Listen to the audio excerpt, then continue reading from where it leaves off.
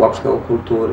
Ja znam da je potreban zakon, ali pitanje koga pravi i pitanje je zašto samo u kulturi. Zašto samo recimo umetnik da bude čovek koji će da radi na, po ugovoru na dve godine, na tri godine ili na četiri godine? Zašto ne i doktori, zašto ne i profesori?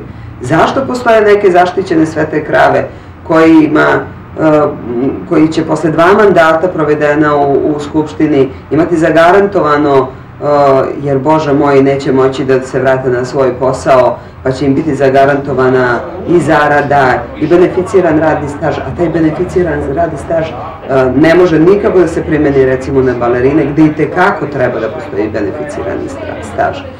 Znači, kako to da postoji negde gde sve može i negde gde ništa ne može? A, ona, ona bi morala, ovdje će morati da bude u kabini uh, kad se igra predstava.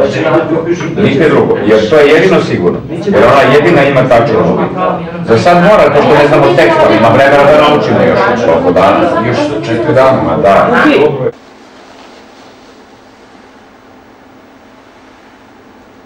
Čudno.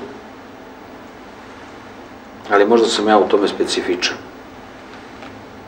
Jer ja se nisam osvrtao sem u veštini, u profesionalizmu na svoje kolege. Meni je gluma uvek bila samo sredstvo, nikad cilj. Mm, sredstvo za samo ispitivanje i istraživanje,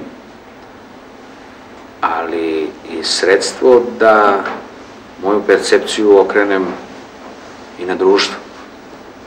Znači na društvo u kome živim, na kompletno društvo i na sobstveni narod. Zato biti glumac u Srbiji ima i svoje mane i svoje prednosti.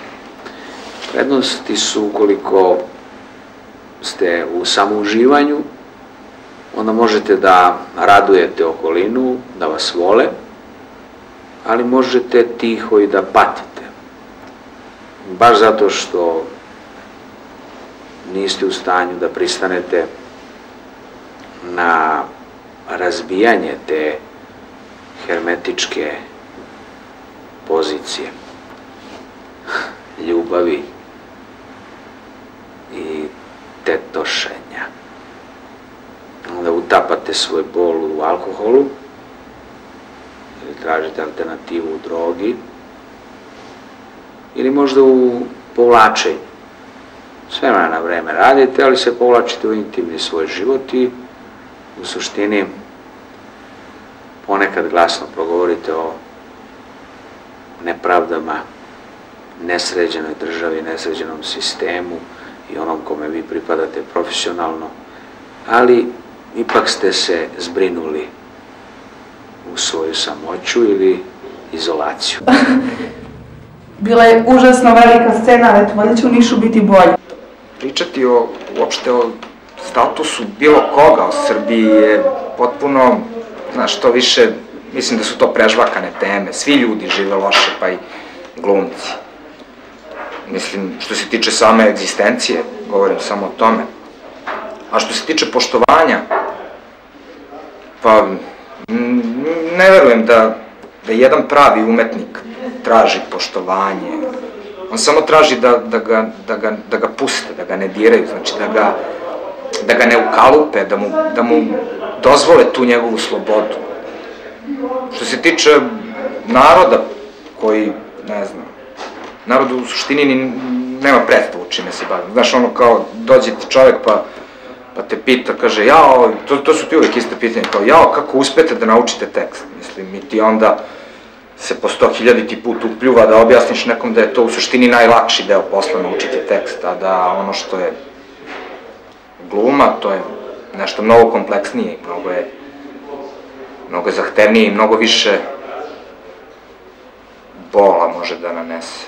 Ti ne mučiš i to pojačaš, oni imaju neku promenu ovde, ali koja se vidi u svetlu je. I sad gledaj šta se dešava. Paulina iznosi odavde jedan mikrofon.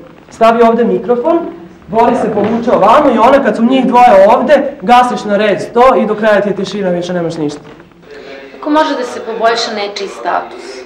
Bio on glumac, lekar, prosvetni radnik.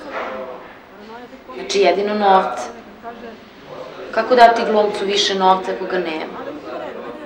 Znači, onaj ko je na poziciji da može da određuje koliki će honorar da bude, on će to uraditi po svom nahođenju i misliš tu, znači jedino kako zaista suštinski može da se pomogne to je donošenje zakona. Znači za sve isti zakon, znači minimalna cena rada